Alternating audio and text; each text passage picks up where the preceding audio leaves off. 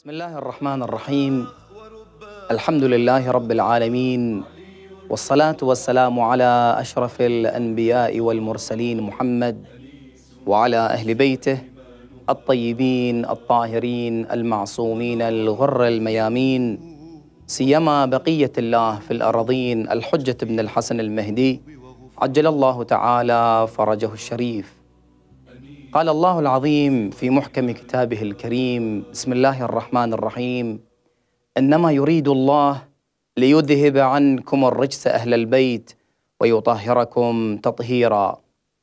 إن حياة المعصومين الأربعة عشر عليهم السلام ابتداء من رسول الله محمد صلى الله عليه وآله وسلم وانتهاء بمهدي آل محمد الإمام المهدي المنتظر. عجل الله تعالى فرجه الشريف. إنما تشكل وتكون منهجية عملية وسلوك حقيقي لواقع الأمم. فالله تبارك وتعالى إنما بعث الرسول لكي يكون نموذج عملي. والقرآن الكريم هو بمثابة المنهج والدستور والرؤية والقيم التي تجعل الإنسان إنما يسير في هذه الدنيا من أجل أن يكون سعيدا في الدنيا ويفوز في الجنان في عالم الآخرة. فرسول الله محمد صلى الله عليه وآله وسلم وأهل بيته هم الطريق إلى الجنة. إذا أردنا أن نكون سعداء في هذه الدنيا إذا أردنا أن نصل إلى الجنة أن نصل إلى ذلك الخلود الإلهي نرى أن الطريق إنما يكون عبر اتباع القرآن الكريم. هذا المنهج الإلهي وأن نسير بمسيرة رسول الله صلى الله عليه وآله وسلم وبمسيرة أهل البيت الذين يعبر عنهم القرآن الكريم. أذهب عنهم الرجس وطهرهم تطهيرا. وهم القربى في هذه الآية. قل لا أسألكم عليه أجرا إلا المودة في القربى. ما تجرأ نبي من الأنبياء أن يطلب الأجر على دعوته على جهوده على أتعابه. ورسول الله صلى الله عليه وآله وسلم الذي قال ما أوذي نبي بمثل ما أوذيت رسول الله صلى الله عليه وآله وسلم الله تبارك وتعالى يطلب منه الأجر. الله تبارك وتعالى ورسول الله يجعلون الأجر وأجر الرسالة هي مودة أهل البيت هي محبة أهل البيت سلام الله عليهم. الفرق بين المحبة والمودة المودة هي الحب مع الطاعة. طاعة الله وطاعة أهل البيت وطاعة الرسول صلى الله عليه وآله وسلم. هذه السفينة لو ركب الإنسان هذه السفينة إنما ستوصله إلى شاطئ الأمان. فرسول الله صلى الله عليه وآله وسلم يعبر عن أهل البيت بسفينة نوح. من ركبها نجا ومن تخلف عنها غرق وهوى. حري بنا أن نتأمل سيرة أهل البيت سلام الله عليهم. رسول الله صلى الله عليه وآله وسلم يقول أهل بيتي كالنجوم بأيهم اقتديتم اهتديتم. ما أجمل هذه العبارات هذه الكلمات كلمات رسول الله صلى الله عليه وآله وسلم. كلامكم نور وأمركم رشد ووصيتكم التقوى. هذا ما كان في رسول الله وفي أهل بيته. ونحن اليوم في رحاب إمام من الأئمة المعصومين الأربعة عشر. سلام الله عليهم. في رحاب أنيس النفوس الذي تأنس به الروح. في رحاب شمس الشموس. في رحاب الإمام علي بن موسى الرضا. سلام الله عليه. ثامن أئمة المسلمين وثامن أئمة أهل البيت سلام الله عليهم الذي عبر عنه الرسول صلى الله عليه وآله وسلم بعبارة ما عبر إلا في حق ابنته فاطمة حيث قال فاطمة بضعة مني من آذاها فقد آذاني وهكذا رسول الله عبر في حق الإمام الرضا سلام الله عليه حيث قال ستدفن بضعة. التفتوا إلى هذه العبارة. بضعة يعني جزء من روحي وجزء من جسدي. ستدفن بضعة مني في خراسان. ما زارها مؤمن إلا أوجب الله له الجنة وحرم جسده على النار. هذه المنزلة لمن يزور الإمام علي بن موسى الرضا. فهذا الإمام العظيم هذا الإمام الذي كان له ذلك الدور الكبير في مرحلة مهمة من مرحلة التأريخ. كانت ولادة الإمام الرضا سلام الله عليه بعد استشهاد جده الإمام جعفر بن محمد الصادق وكان في عصر المنصور العباسي وكان في رحاب أبيه الإمام موسى بن جعفر الكاظم عليه السلام أكثر من ثلاث عقود. أكثر من ثلاثة عقود كان الإمام الرضا مع أبيه الإمام موسى بن جعفر. فكيف تربى الإمام؟ في أي حضن؟ في حضن النبوة وفي حضن الإمامة. نقرأ في زياره الزيارة الجامعة الكبيرة للإمام علي علي الهادي. سلام الله عليه. السلام عليكم يا أهل بيت النبوة ومعدن الرسالة. ومختلف الملائكة. هذه المنزلة وهذا الدور الكبير لأئمة أهل البيت سلام الله عليهم. الإمام الرضا سمي بالرضا لأنه المرضي عند الله تبارك وتعالى. وفي رواية تذكر ان ما سمي بالرضا لأن الموافق والعدو الكل رضي بالإمام علي بن موسى الرضا سلام الله عليه. فكان الإمام الرضا ذلك الإمام الذي لو دخل الإنسان إليه يدخل الإنسان إلى حرمه. اذهب. من ذهب إلى حرم الإمام الرضا سلام الله عليه بخراسان في إيران سيشعر بهذا الشعور. تشعر باطمئنان بمجرد أن تدخل إلى حرم الإمام الرضا. الإنسان يشعر في داخله. أتكلم مع شعورك. أتكلم مع هذا الواقع. أتكلم مع ذلك الوجدان. لو الإنسان يتأمل في حياته يشعر ما هو الوجدان. لو دخلت إلى حرم الإمام علي بن موسى الرضا. تدخل وتهيئ نفسك إلى هذه الروحانية. لهذا التوجه إلى الله ستشعر أنت أيها المشاهد الكريم. أيتها المشاهدة الكريمة لو دخلتم إلى حرم الإمام علي بن موسى الرضا لنظرت إلى ذلك السكون ذلك الاطمئنان. فعلا ترى أنك في جنة حقيقية. الذي ذهب إلى حرم الإمام الرضا يشعر بذلك ومن يذهب إلى هناك ويوفق إلى زيارة الإمام علي بن موسى الرضا لأن الجنة الله أوجبها للمؤمن الذي يزور الإمام عارفا بحقه. لما تذهب إلى حرم الإمام الرضا. أي شعور هذا؟ تتصور أن هذا الشعور الذي يأتي للانسان أي شعور هذا؟ لماذا الكثير من المراقد كثير من الأماكن يدخل فيها الإنسان لا يشعر بذلك؟ هذا شعور من الله. لذلك نقرأ السلام عليك يا شمس الشموس. السلام عليك يا أنيس النفوس. هذا هو الإمام الرضا نفس الإنسان. وجدان الإنسان يحتاج إلى راحة. لذلك نبقى في رحاب أنيس النفوس وشمس شموس. نبقى في رحاب سيدنا ومولانا الإمام علي بن موسى الرضا عليه سلام الله. البداية مرحلة مهمة في حياة كل إنسان. كيف بدأ الإمام الرضا هذه الحياة؟ البداية كانت من البداية الصحيحة. كل عمل كل حركة كل نقطة إذا كانت البداية في هذا العمل في هذه الحركة كانت بداية صحيحة ستكون النهاية صحيحة أيضا.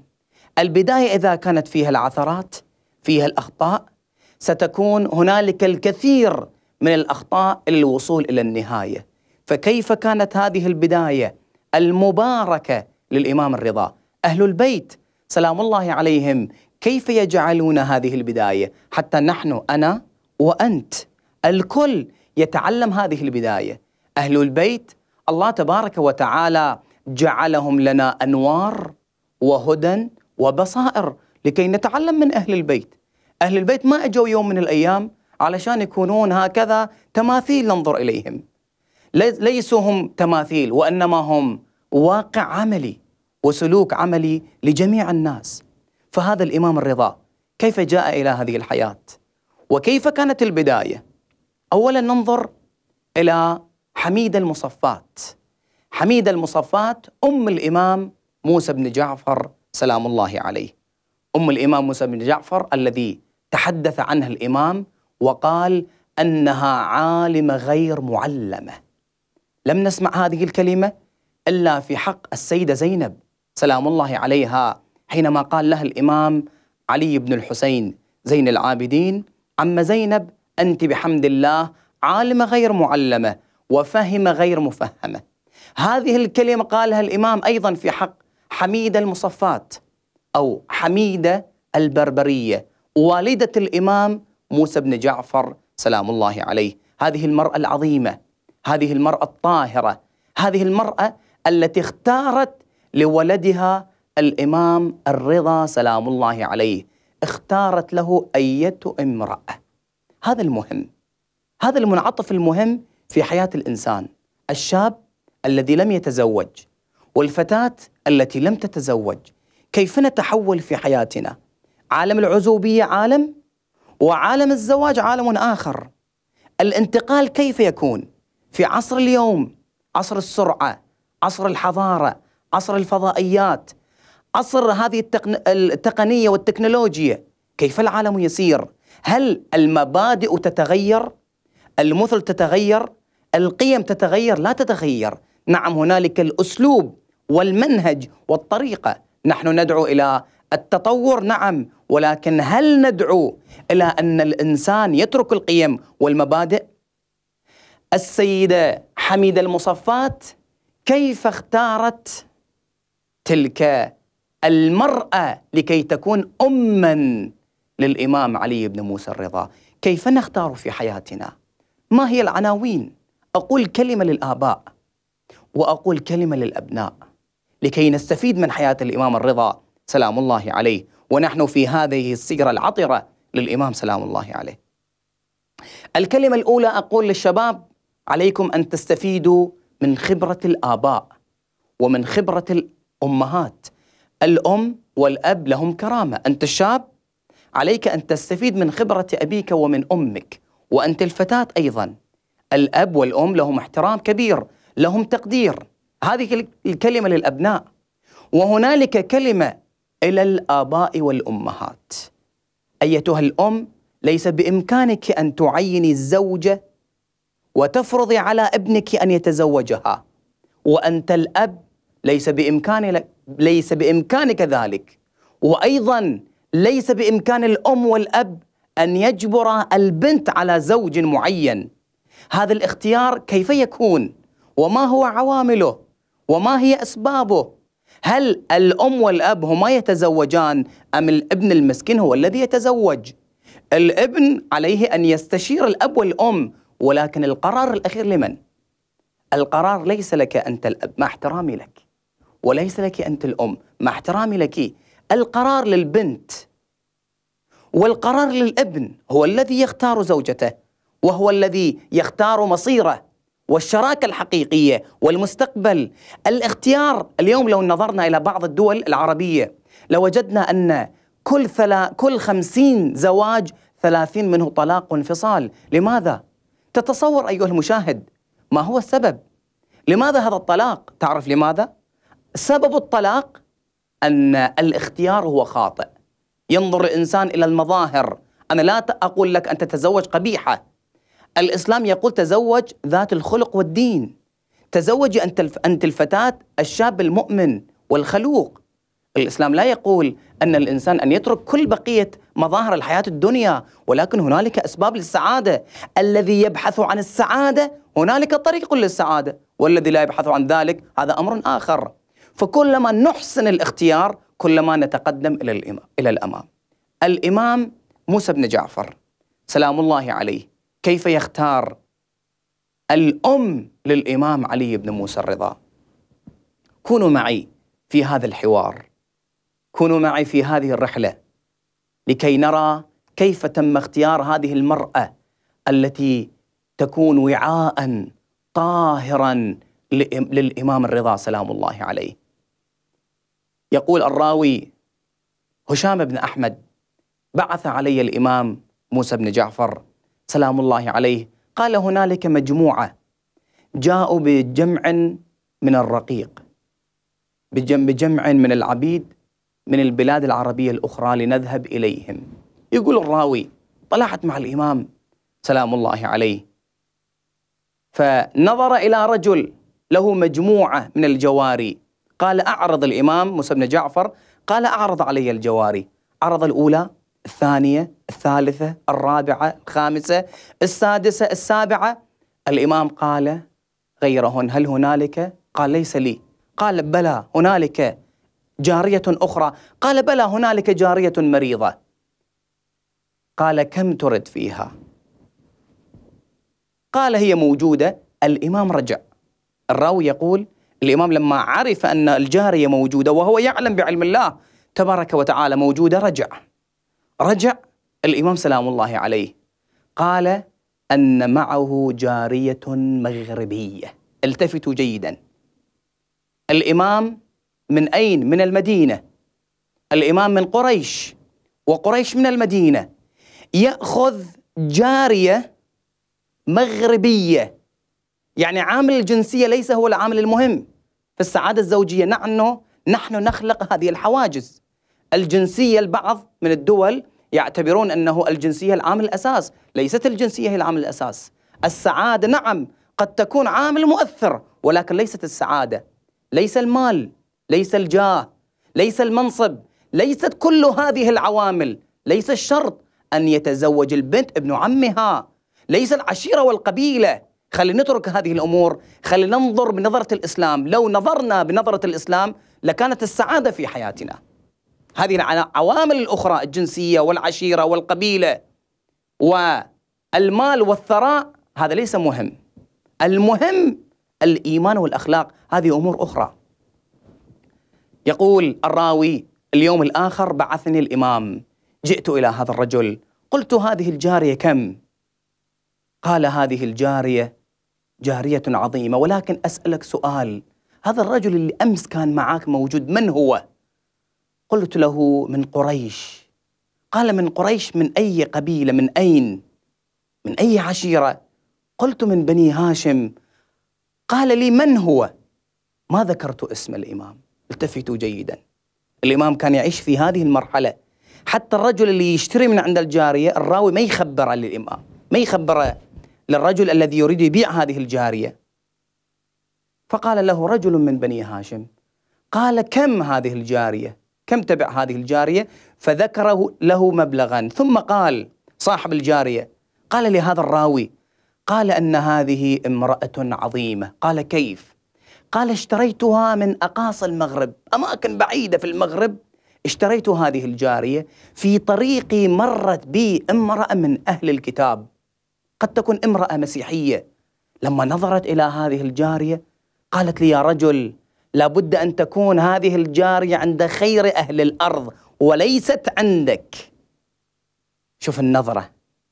كيف نظروا إلى هذه المرأة؟ أن تكون هذه الجارية عند خير أهل الأرض. قال بلى هي ليست لي وهي للإمام. فاشتراها وجاء بها إلى الإمام موسى بن جعفر سلام الله عليه. حميد المصفات حميد البربرية أم الإمام موسى بن جعفر اختارت هذه الأم واسمها تكتم اسمها الطاهرة واسمها أسامي متعددة اسمها نجمة أيضا لها أسامي متعددة. اختارت هذه المرأة الطاهرة لكي تكون وعاء لبقية الله. للإمام علي بن موسى الرضا. نبقى ونستمر. في رحاب أنيس النفوس لكي تأنس هذه الأرواح وإلى شمس الشموس في رحاب هذا الإمام العظيم بضعة رسول الله في رحاب الإمام علي بن موسى الرضا. نبقى ونستمر ونلقاكم في حلقات قادمة. والسلام عليكم ورحمة الله وبركاته.